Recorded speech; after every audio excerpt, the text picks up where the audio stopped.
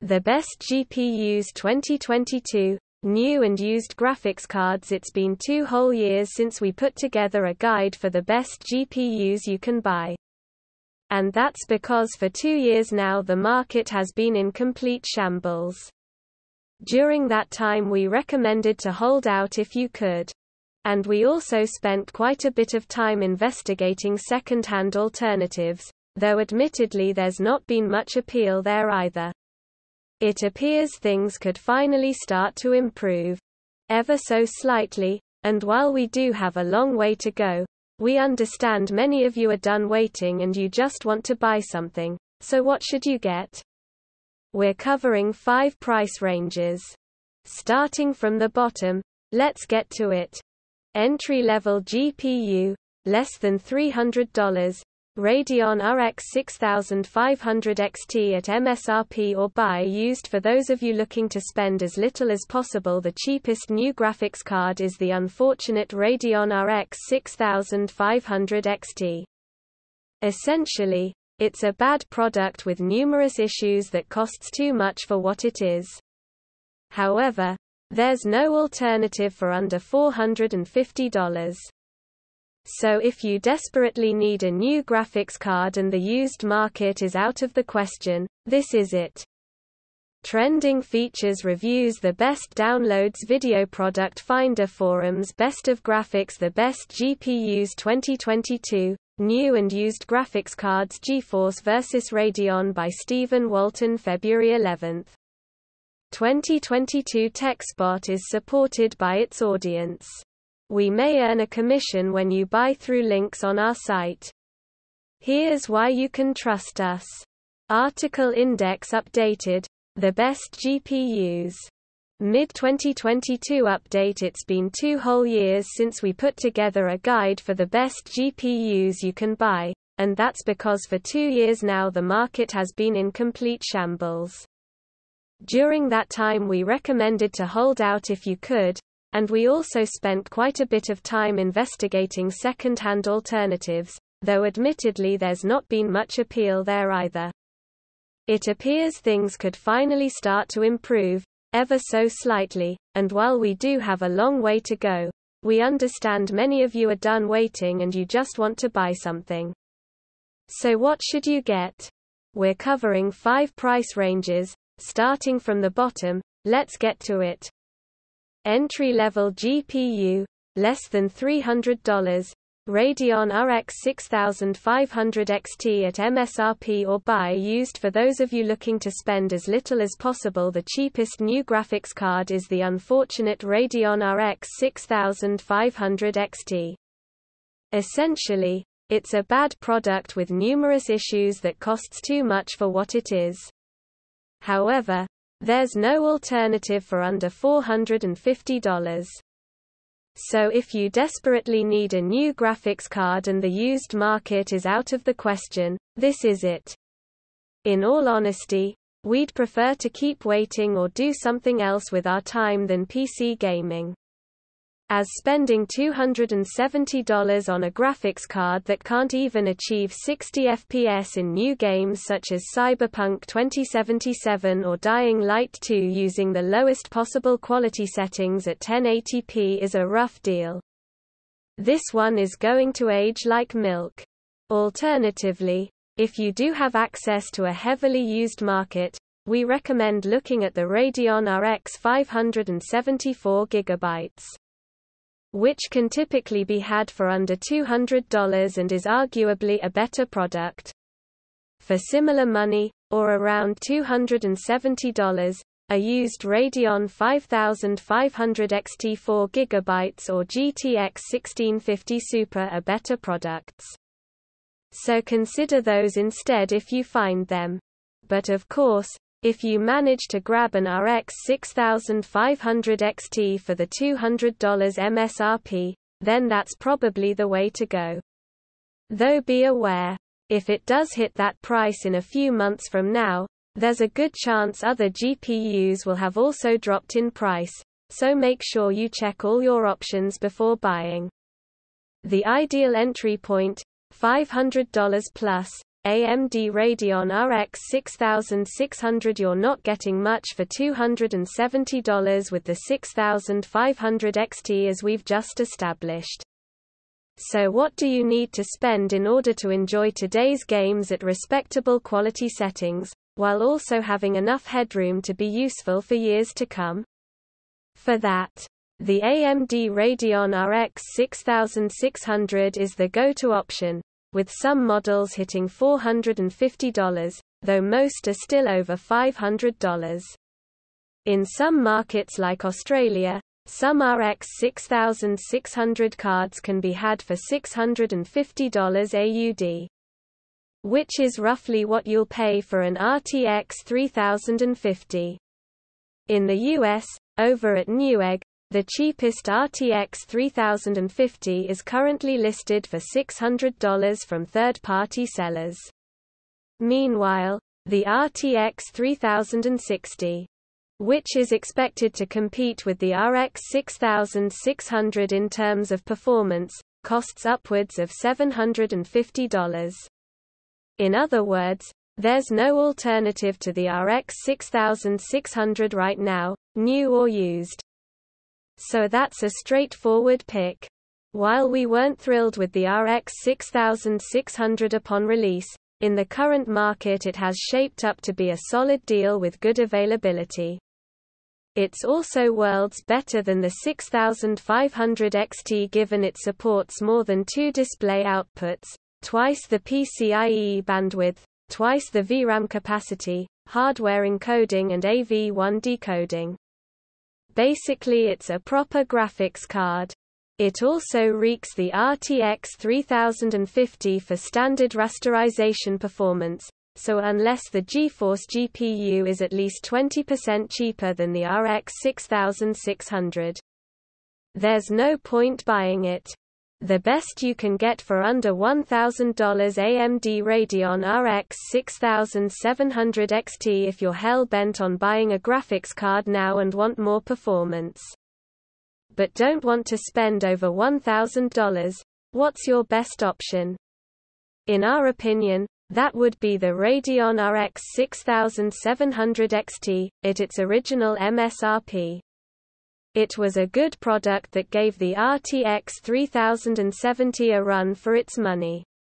The Radeon 6700 XT delivers approximately 40% more performance than the RX 6600, supports the full PCIe X16 bandwidth increases VRAM capacity to 12 GB, and in today's market can be purchased for around $900.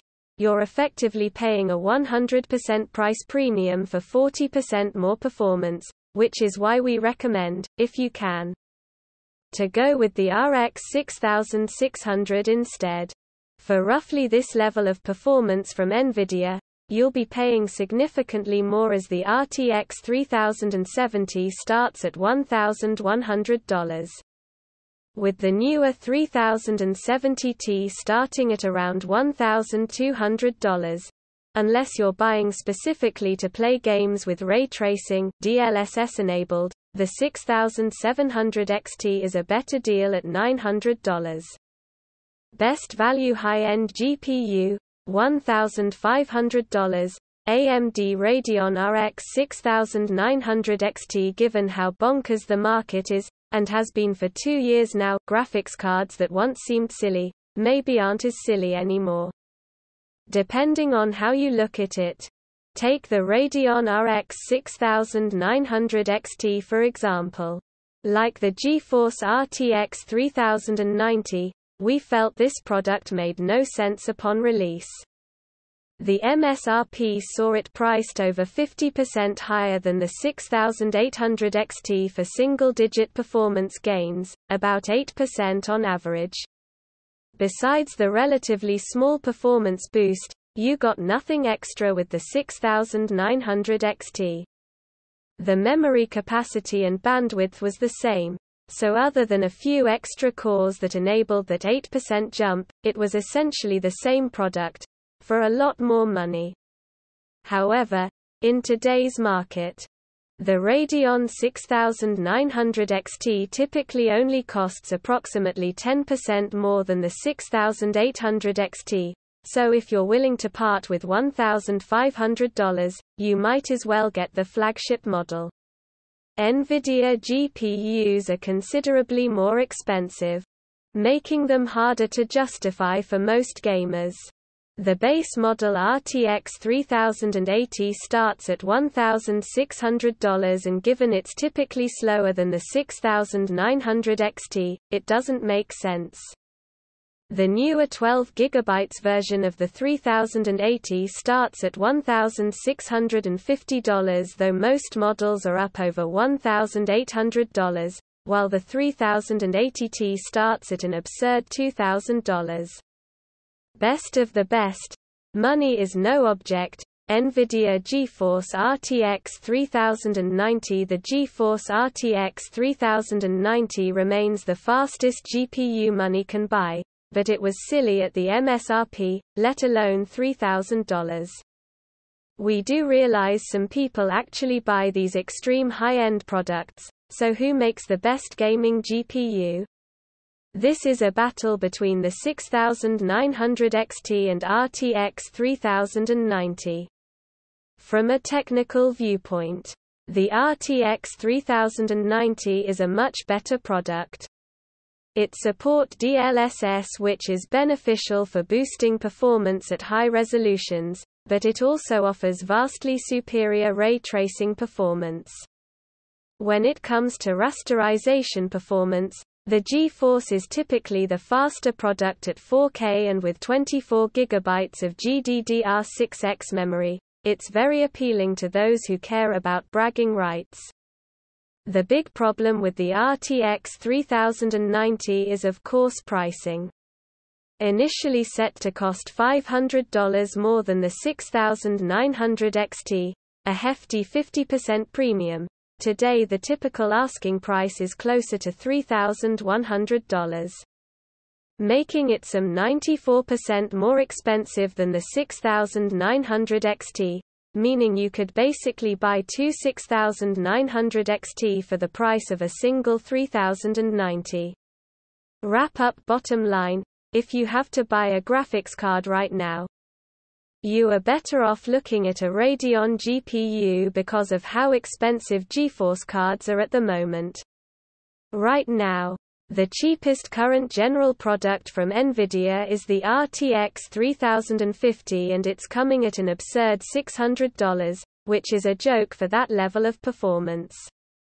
For the same money you can land the much faster 6600 XT which is somewhere around 50 to 60% faster.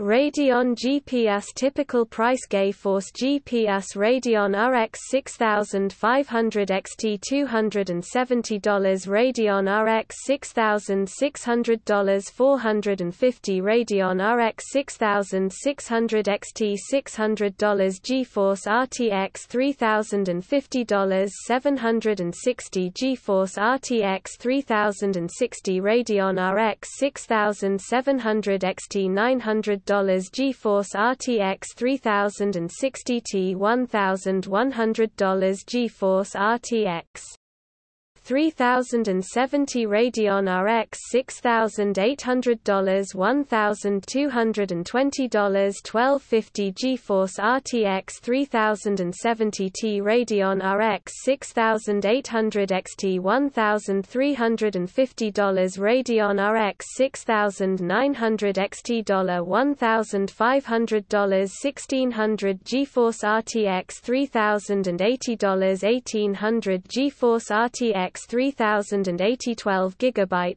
$2,000 GeForce RTX 3080 Ti $3,000 GeForce RTX 3090 The RTX 3060 is also typically slightly slower than the 6600 XT yet right now costs 27% more and then we have the 3060T which price matches the 6700 XT at $900. The 6700 XT is slightly faster but this is one of the better matchups for NVIDIA. The RTX 3070 jumps up to $1,100 which is a 22% premium over the 6700 XT for just 5% more performance on average. The 3070T jumps up to $1,250 which is more than what you'll typically pay for an RX 6800 which is slightly faster overall. At the mid-range segment from the 3060T to the 3070T, NVIDIA does okay. Still worse in terms of value, but much better than what we see at the low end where they have nothing and then the high end where pricing gets out of hand. The RTX 3080 comes in at tilde dollar 1600 which is more than you'll pay for the 6900 XT, this is not good given the Radeon offers around 15% more performance at 4K. Things just get worse for the 12 GB 3080 and worse again for the 3080T. That's where we are at right now. Pricing is still bad, but availability of some models appears to be improving, so hopefully things continue to trend in the right direction.